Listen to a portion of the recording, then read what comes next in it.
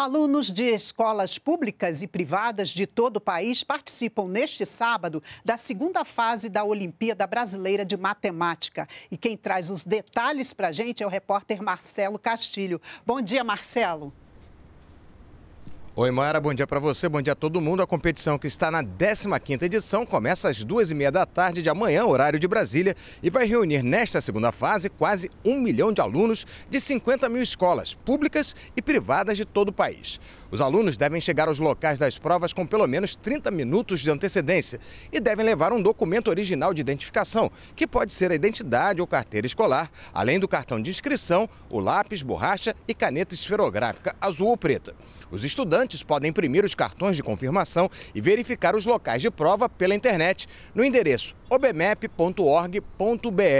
Assim como no ano passado, 18 milhões de estudantes participaram da Olimpíada Brasileira de Matemática desde a fase inicial.